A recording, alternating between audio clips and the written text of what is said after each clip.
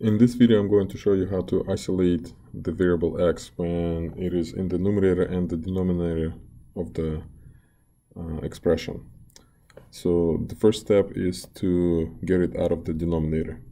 So how do we get the variable out of the denominator? It's called clearing the fractions. So we can clear this fraction by multiplying both sides by 1 minus 2x. So all we do, we just take both sides of the equation and we multiply it by 1 minus 2x. Um, on the left, we just have now 1 minus 2x times y.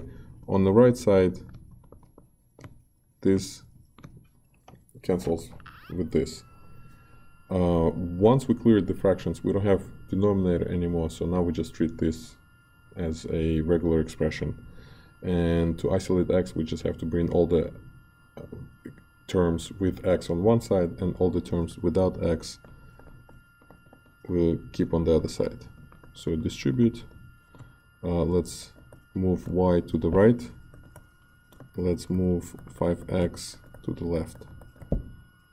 So on the left we now have negative 5x minus 2xy, on the right we have 3 minus y.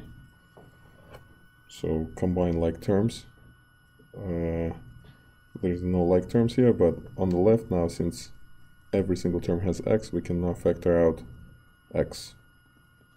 So if you factor out x, we have negative 5 subtract 2y is equal to 3 minus y, and we're one step away from isolating x.